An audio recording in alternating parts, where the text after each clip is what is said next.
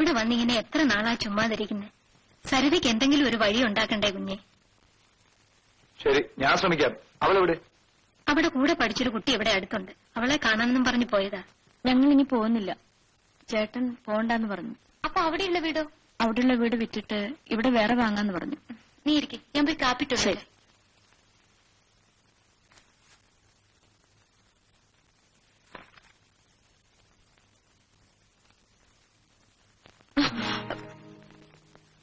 തനിക്കെന്താ കണ്ണ് കണ്ടൂടെ? പെണ്ണുങ്ങളെ കണ്ട പോക്കൃത്രം കാണിക്കുന്നു. ക്ഷമിക്കണം ഞാൻ മനഃപൂർവം ചെയ്തതല്ല. നിങ്ങളിവിടെ നിൽക്കുന്ന ഞാൻ കണ്ടില്ല. ഏ കണ്ടില്ല. കാണാതിരിക്കാൻ എന്താ കണ്ണ് പൊട്ടിപ്പോയോ? നിങ്ങൾ പറഞ്ഞതാണ് സത്യം. എന്റെ കണ്ണുകൾക്ക് കാഴ്ചയില്ല.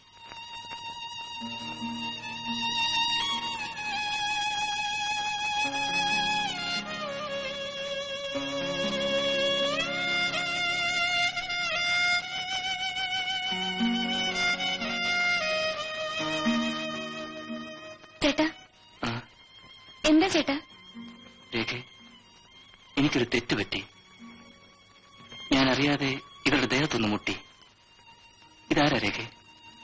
ഞാൻ പറയാറില്ലേ എന്റെ ഒരു കൂട്ടുകാരിയെ പറ്റി? സരിത. സരിത.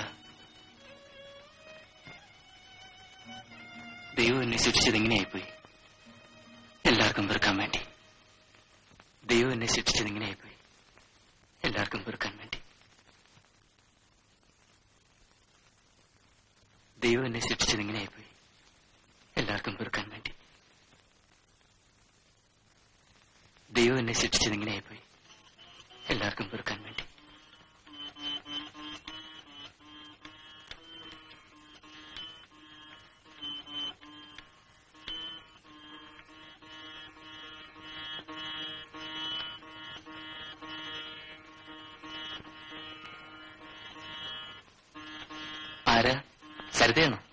എങ്ങനെ മനസ്സിലായി?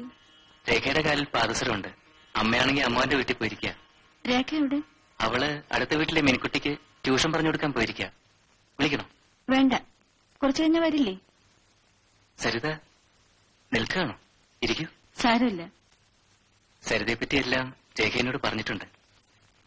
ഇനി എന്ത് ചെയ്യാനാ ഉദ്ദേശിക്കുന്നത്? ചേട്ടൻ ജോലിക്ക് വേണ്ടി ശ്രമിക്കുന്നുണ്ട്. വെറുതെ വീട്ടിലിരുന്ന മുഷു തോന്നൂല്ലേ അല്ലാതെ എന്ത് ചെയ്യാനാ? എന്റെ അനുഭവം കൊണ്ട് ചോദിച്ചതാ. ബാലേട്ടൻ വീണ വായിക്കുമല്ലേ കുറേശ്ശെ. പാട്ട് പാടുവോ? ചെറുതായിട്ടൊന്ന് മൂളും. അത് കള്ളം. ബാലേട്ടൻ നന്നായി പാടുമെന്ന് രേഖ പറഞ്ഞല്ലോ.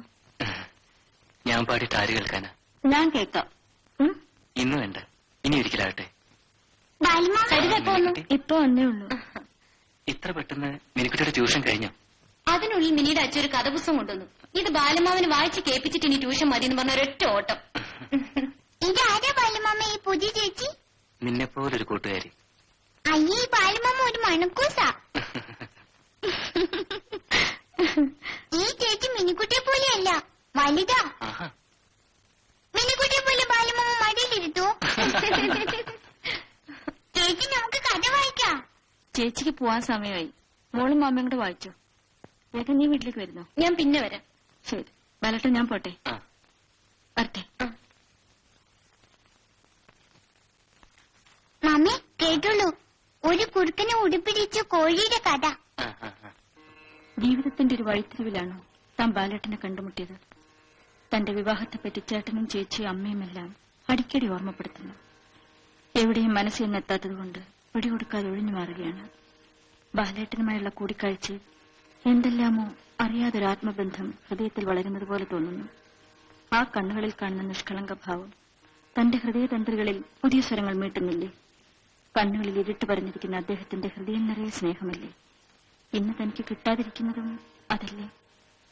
ഒരു പക്ഷേ ബാലേട്ടന്റെ മനസ്സിൽ തനിക്ക് കടന്നുകൂടാൻ കഴിഞ്ഞിരിക്കുമോ? തന്റെ ഉള്ളിന്റെ ഉള്ളിൽ ആ രൂപം പതിഞ്ഞു കഴിഞ്ഞില്ലേ? എന്താ പെണ്ണെ? സന്ധ്യയ്ക്ക് ഇവിടെ ഇരുന്ന് സ്വപ്നവും കണ്ടുകൊണ്ടിരിക്കുന്നത്?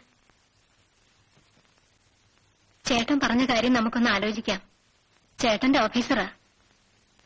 രണ്ടാം കെട്ടാണെങ്കിലും ചീത്തപ്പേരില്ലാണ്ട് ജീവിക്കാമല്ലോ. എന്നെ ബലി കൊടുക്കാൻ അമ്മയ്ക്ക് ധൃതിയായില്ലേ?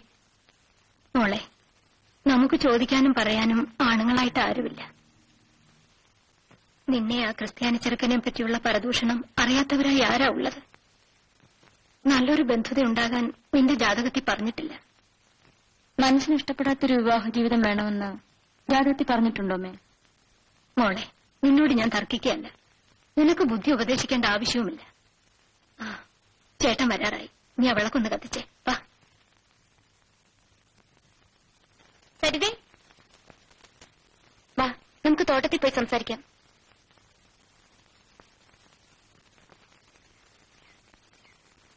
നിന്റെ അമ്മയും ചേച്ചിയും എന്നെ ഒരു ജോലി ഏൽപ്പിച്ചിട്ടുണ്ട്. നീ എത്രയും വേഗം വിവാഹം കഴിക്കണം. അതിനുള്ള ആളെ അവർ കണ്ടുവച്ചിരിക്കുക ഞാൻ വിവാഹം കഴിക്കുന്നത് എന്റെ മനസ്സിന്റെ തൃപ്തിക്ക് വേണ്ടിയല്ലേ മനസ്സിനിണങ്ങാത്ത ഒരാളുമായി എനിക്ക് ജീവിക്കാൻ കഴിയുമോ? അത് ശരി. നിനക്കാണെങ്കിൽ ആണുങ്ങളെന്ന് വെച്ച ചതുർത്ഥ്യ. പിന്നെങ്ങനെ നിന്റെ മനസ്സിനിണങ്ങുന്ന ആളെ കണ്ടുപിടിക്കുന്നത്? എന്റെ മനസ്സിൽ ഞാൻ സങ്കല്പിച്ചിരുന്നൊരു പുരുഷൻ എത്തിക്കഴിഞ്ഞു. അമ്പടി കള്ളി എന്നിട്ടാണ് മിണ്ടാപ്പൂച്ചി പോലെ ഇരുന്നത്. ഞാൻ ഈ വിവരം നിന്റെ വീട്ടിൽ പറയട്ടെ. ആരടിയ സങ്കല്പ പുരുഷൻ? ബാലേട്ടൻ. വേണ്ട. നിന്റെ ചേട്ടനെ ജീവനോടെ കാണാൻ നിനക്ക് ആഗ്രഹമില്ലേ? ചേട്ടാ! ഞാൻ ആരാണെന്നുള്ളത് അവൾ മറന്നാലും ഞാൻ മറന്നുകൂടാ. ചേട്ടാ സരിത ആലോചിക്കാതെ ഒരു തീരുമാനം എടുക്കാറില്ല. വേണ്ട രേഖ. ആവശ്യമില്ലാതെ അപകടങ്ങൾ ക്ഷണിച്ചു വരുത്തരുത്. മേലാൽ സരിത ഇവിടെ വരരുതെന്ന് പറഞ്ഞേക്കൂ. രേഖ നീ എന്തിനാ ഇങ്ങോട്ട് വന്നത്? ഇനി വരരുത്. എന്റെ ചേട്ടനത് ഇഷ്ടമല്ല. രേഖ നീ നീ ഇവിടെ വരുന്നതിൽ എനിക്കും താല്പര്യമില്ല. ഇന്നോളം വേദന എന്തെന്നറിയാതെ വളർന്ന എന്റെ ചേട്ടന്. നീ മൂലം അതുണ്ടായിരുത് ചേട്ടന്റെ കണ്ണു നിറയാൻ ഞാൻ ഒരിക്കലും സമ്മതിക്കില്ല. എന്റെ കുഞ്ഞെ നിന്നോടുള്ള സ്നേഹം കൊണ്ട് പറയുന്നതാണ്. കല്യാണം കഴിച്ചുള്ള ഒരു സുഖജീവിതം അവനില്ലെങ്കിലും എന്റെ മോനെ എനിക്ക് എന്നും കണ്ടുകൊണ്ടിരിക്കണം. അമ്മേ ഞാൻ ബാലേട്ടനെ വേദനിപ്പിക്കുമെന്ന് അമ്മയ്ക്ക് തോന്നുന്നുണ്ടോ? ബാലേട്ടന്റെ കണ്ണുകളിൽ മാത്രമേ ഇരുട്ടുള്ളൂ. മനസ്സ് വെളുത്തതാണ്. അല്പം വെളിച്ചം എനിക്കാണ് വേണ്ടത്. അത് ഞാൻ ബാലേട്ടനിൽ നിന്ന് പ്രതീക്ഷിക്കുന്നു. ഞങ്ങൾക്ക് പറയാനുള്ളത് പറഞ്ഞു. ഇനി അവന്റെ ശവം കൂടി കണ്ടേ അടങ്ങുമെന്നുണ്ടെങ്കിൽ എന്റെ ഇഷ്ടം പോലെ ചെയ്തു.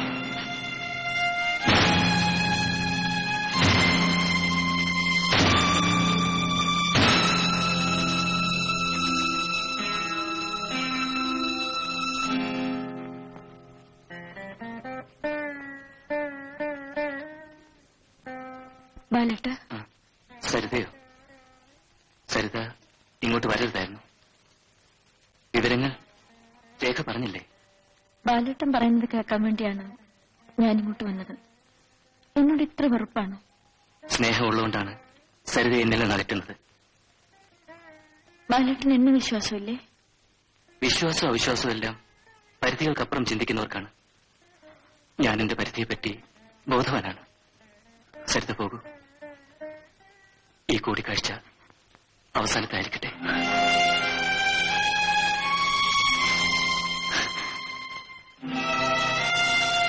ബാലട്ടം പോകാൻ പറഞ്ഞിട്ട് ഞാൻ പോകാതിരിക്കുന്നത് ശരിയല്ല. ഈ കൂടിക്കാഴ്ച അവസാനത്തേതായിരിക്കട്ടെ.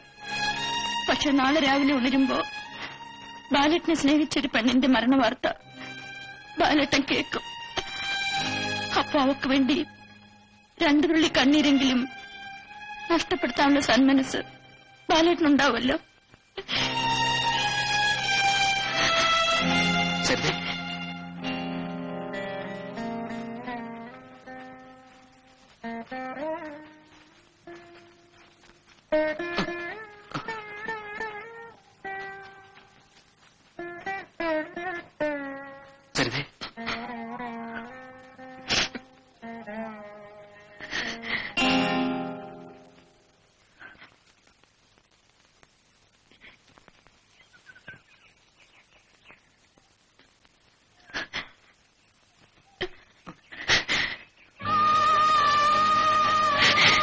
ബാലേട്ട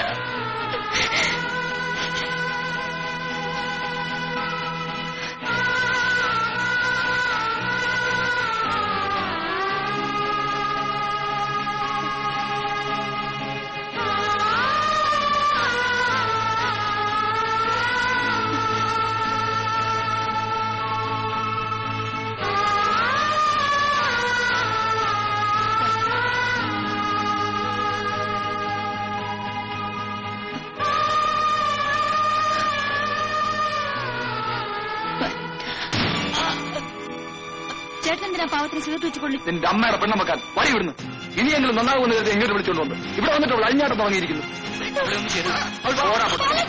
കണ്ടില്ലെങ്കിലും അവന് പ്രേമിക്കാനറിയാം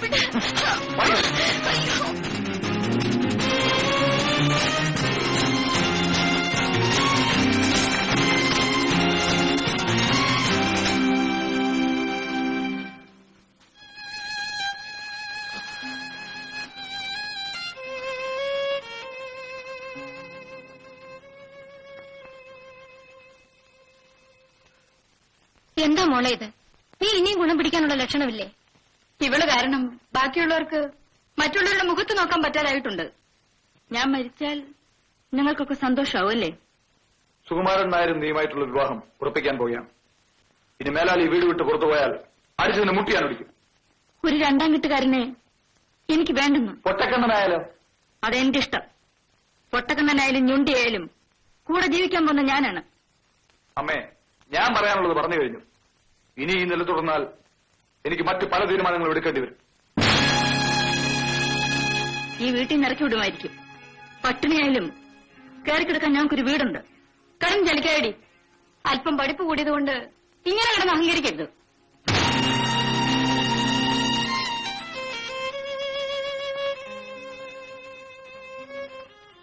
മോളെ അമ്മയ്ക്കൊരിത്തിരി സമാധാനം താടി. അമ്മേ ഞാൻ അവസാനമായി പറയാണ്.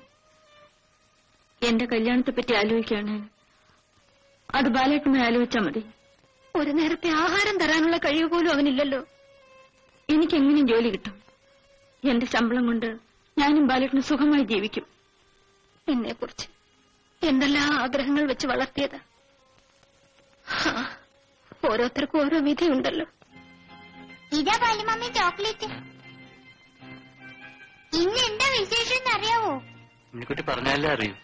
ഇന്ന് എന്റെ പെരുന്നാളാ ആണോ? സദ്യയൊക്കെ ഗംഭീരായിരിക്കുമല്ലോ അല്ലേ? ക്ഷണിക്കാനും കൂടി മിനിക്കുട്ടി വന്നത്. അമ്മുമ്മയും ചേച്ചിയും എല്ലാരും കൂടി മിനിക്കുട്ടിയുടെ വീട്ടിലേക്ക് വരണം. ബാലുമമ്മി നമുക്ക് അമ്പലത്തിലേക്ക് പോകാം. മാമ വരുന്നില്ല. മോൾ വെക്കോ അത് പറ്റില്ല. മാമയും കൂടി വരണം.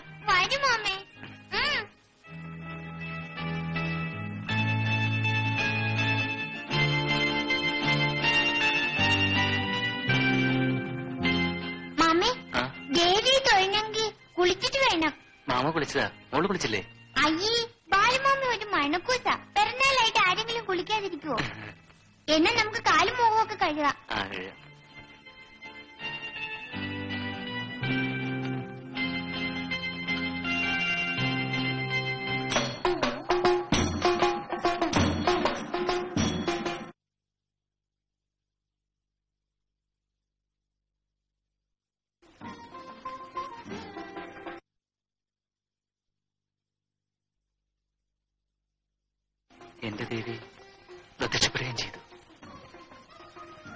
നമ്മുടെ മനസ്സൊന്നാണ് ബാലേട്ട.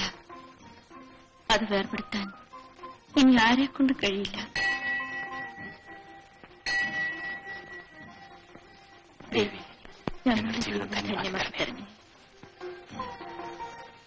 അയ്യോ. അമ്മേ. ആ, ആ, ആ, സൂക്ഷിച്ചിറങ്ങണേ. അമ്മേ. അതൊക്കെ പെതുക്കെ കയറിക്കും അയ്യോ. അമ്മേ. അമ്മേ. മോൾ വീട് നോക്കിക്കോ. ചേച്ചി ആശുപത്രി കൊണ്ടുപോവുക അമ്മ ഞാനും കൂടെ വരാം അമ്മേ എല്ലാവരും കൂടെ പോയാലേ വല്ല ഉണ്ടാക്കി കഴിക്കണ്ടേ? അതോ